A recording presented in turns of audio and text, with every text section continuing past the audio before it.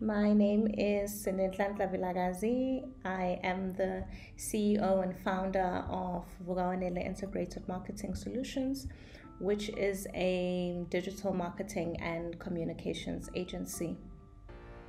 And basically, what we do there is that we we help our clients, which is often brands and companies and non-profits or government organizations, we help them create a solid online presence. And by solid, we mean we help them have an identity um, that people or their customers or clients can resonate with when when they see you know the the, the, the brand or the company online and so we do this by developing content, um, be it through video, be it through copywriting, be it through um, you know newsletters or running paid adverts on, on Google or any of the social platforms. But we help clients um, to run such campaigns in the in the online world. We know how difficult it is to stand out um, in this day and age because there's so many brands that are competing for people's attention online. And so, what we try to do is we try to set our customers apart and be heard in or through that noise. And um, the reason why our company was birthed back in 2016 is because I realized that small businesses often struggle when it comes to developing their own um, online presence. And when they try to reach out to digital marketing agencies, they often find them to be quite pricey. And so, what Ivukawanele um, strived to do, and, and, and, and what we do even now, is to provide companies with an alternative to hiring very expensive um, digital marketing agencies to assist in in creating a, a, a web presence. So when when we started out, we literally started out as a company that helps other small businesses only to develop an online uh, presence by having pricing which is you know entry level provided simple, providing simple but yet very effective and professional and efficient um, digital marketing services. But then as time went on, our pool of clients grew bigger, and then we started serving um, more established startups. So we still work with startups, but also we started survey, servicing corporates and government organizations. I mean, government um, entities as well as as nonprofits. So, and as much as the client base has changed, um, we, we still offer the same services throughout but then we have packages that suit each customer segment at, and meets them at the point of their need. Um, and so for us, our, our mandate is, is still the same and it will never change. It will be to provide a, a, a platform or a way for businesses to to position themselves online when it seems like it's too expensive or it's only for the select few. We say anybody can have a, a, a, a web presence. And we say we can make any company look good, whether you're a small company or a big company. The level of professionalism which we afford our clients helps them to be recognized amongst industry players you know, or key players, when you get onto the online space uh, and, and the work or, or your identity looks professional, the next person or the person sitting on the other side of the screen might not even realize that you are a one or two man show. If your online presence is, is good enough, it, whether it be through you know the content that you write or whether it be through the, the videos or the graphics or whatever it is that you produce, if it's on a world class standard, then people are going to they're going to regard your company as as as a company that you know is one of the the industry's players. Because impressions and first impressions make all the difference. And so we try to create great first impressions or great lasting impressions for for our clients and um, I know I touched on the fact that when we started, we did work for, for small businesses, but we found as time went on that it's not just small businesses that struggle with their online marketing, it's also large companies because of the challenges that we are facing. Um, you know, our economy is strained. The country has been undergoing a lot of challenges economically, financially, and that affects businesses of all sizes. And so large companies also had to find, also found themselves having to streamline and outsource um, marketing to to external parties just because they're trying to cut on their budgets. It's expensive to have an in-house person within any company Whereas if you can outsource your marketing to somebody else, and you know it, it's less costly if you work with those people on a project by project basis or it's a fixed term contract or whatever it is that may be. And those people already come with the expertise rather than training somebody else to to come and assist you with your marketing. So yes it was small businesses initially that had a challenge of hiring a person because of the you know the difficulty of being a small business owner and and strained finances. But big businesses as well also found found themselves feeling the the economic pinch. And so what we do is we provide effective, affordable, and professional digital marketing marketing um, services across board. Our vision is really simple.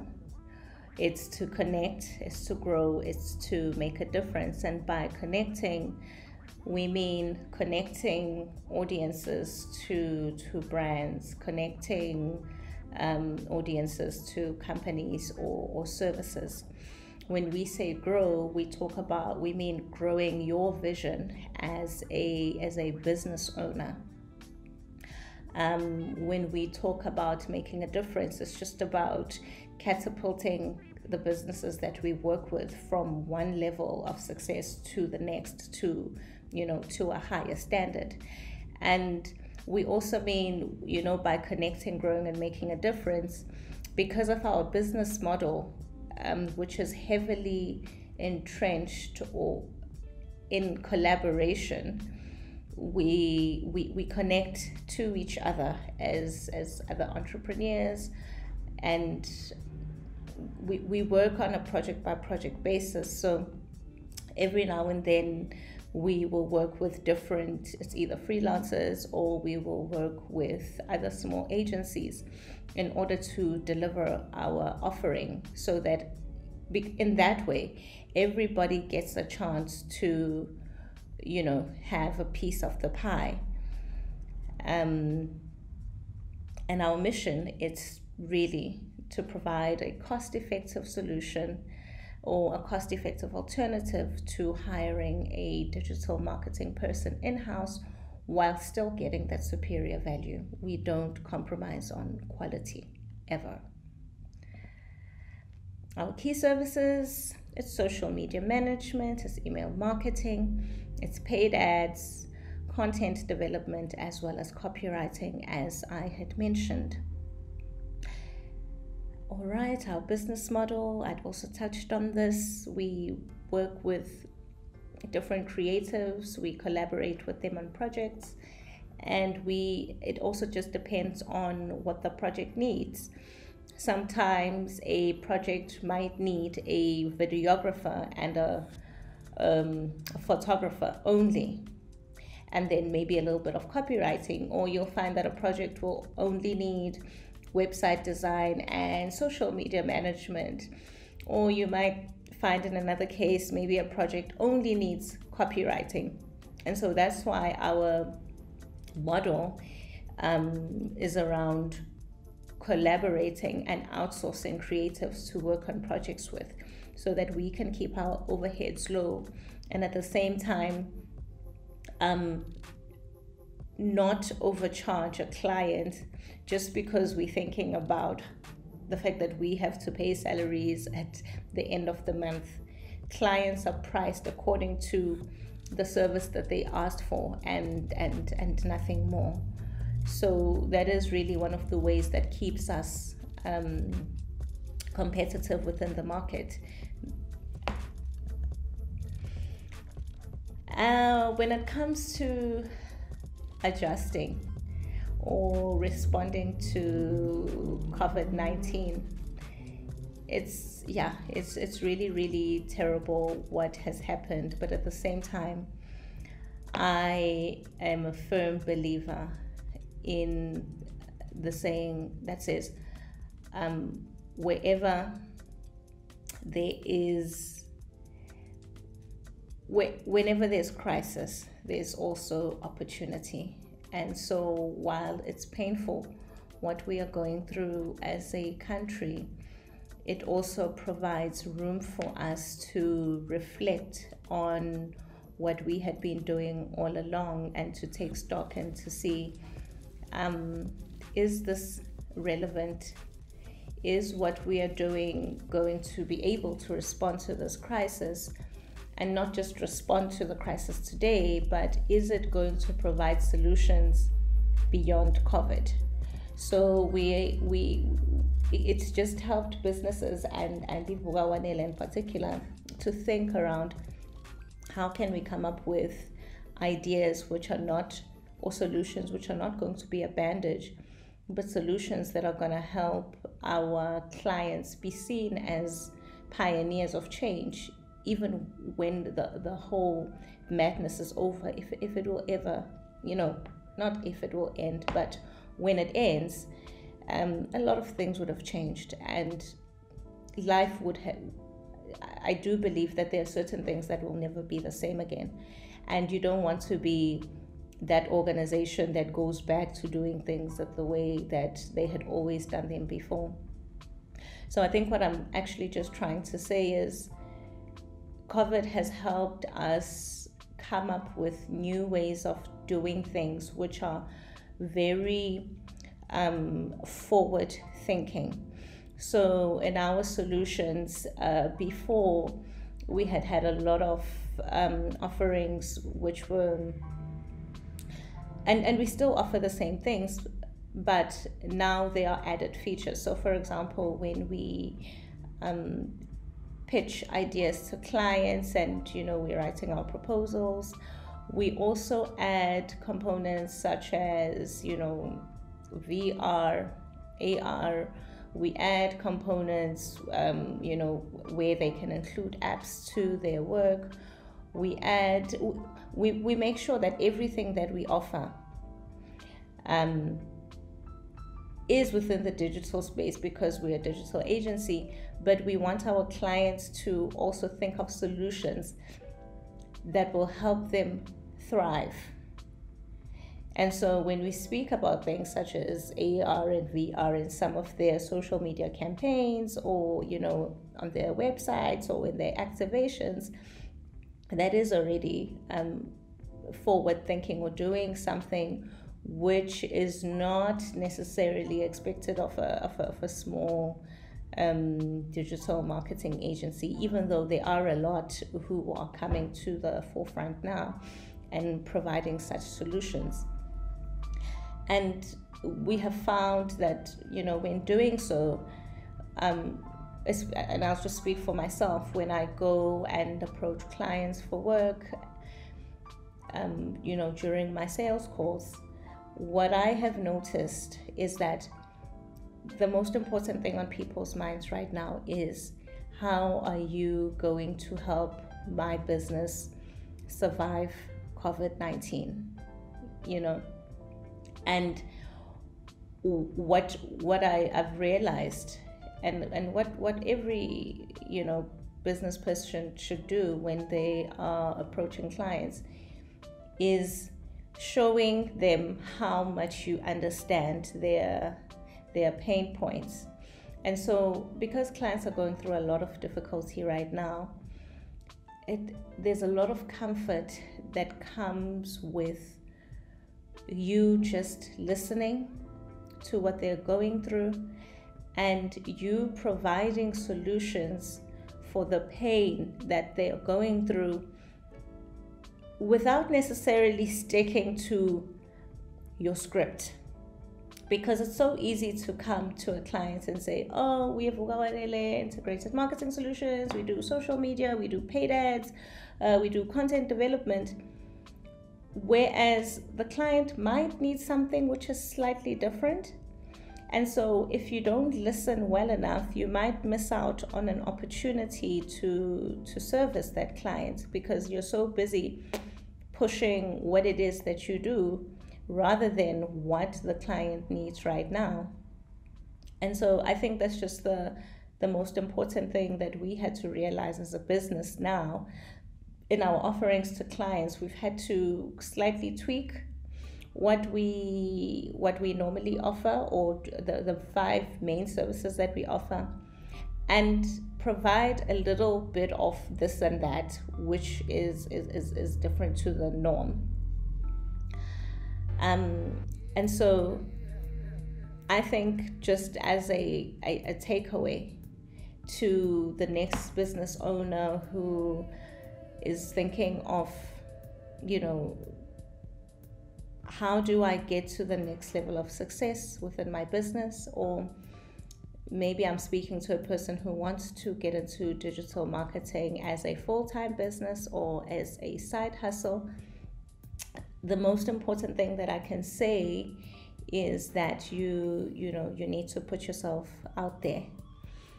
Um, I remember when I went through the first slump um, of COVID nineteen within the first month of the lockdown. My my business or our business also felt the the pinch of COVID nineteen and clients pulling back on work and the panic that everybody else was feeling.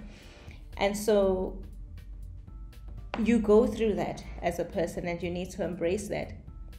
But it's also important for you to quickly pick yourself up and put yourself out there again. I remember realizing how inactive I, as Usne, had been on LinkedIn, for example. And so I decided to put myself out there, one, as Usne, uh, you know, the co-founder and CEO of Ivukawanele. I did this on LinkedIn, but I also started being more active on um, the business social media pages. Um, and some people might feel that it's a little, it's being a bit of a show off or being in their faces, but you need to do what you got to do to to to stand out you know. Do it unashamedly. Work on it like you are working your job. Post something as often as you can. Connect with as many people as you can. And I know if I can speak about a platform that really did wonders for me, I would say it's LinkedIn because I got I've since within the past three months I managed to get two clients from LinkedIn from everything that I had been posting, positioning myself as a thought leader and also connecting my personal profiles to my business pro to my business profile. So there was always you know that continuation from one point to to another. I built my relationships um, and so relationships that i had started offline i also made sure that i connect with those people online and i i make my achievements known and I make the business achievements known on social media. Don't be ashamed or reluctant to call um, networks that you had built or relationships that you had been cultivating over the years and say, hey, here I am. Um, you know, this is what I do. This is what I can offer your business. This is how we can work together. This is the value add And, and and so really it's just about business is a sales game. If you don't sell, you you, you won't get really far.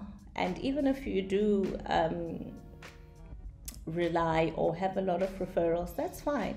But when you've been referred, you still need to get to the clients and prove why you were referred by, you know, a certain client. And so even there, you must sell, sell, sell.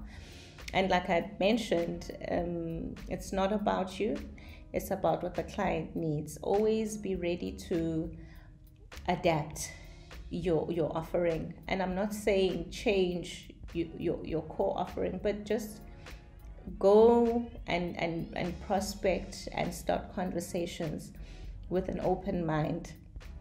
And then, lastly, have faith always. Have faith always. I won't lie and say I never had um, times when I wondered if I made the right decision by going into business full time, and I thought maybe I would have been okay staying, you know, as a full time employee those times come, but you just need to ride out that period of doubt and fear and, and go on to the next thing. And things they do work out. You know, when you do have a, a, a passion and a skill to do something, you, you are bound to succeed if you just keep pushing, if you just keep knocking on doors and you know keep keep keeping on. And that's really is is it for me in a in a, in a nutshell. Um, covid will come. Covid will go it might not go but it's about how it is that you've positioned yourself now so that you are relevant even in the next um, 20 years. And with that i just say all the best and good luck with your businesses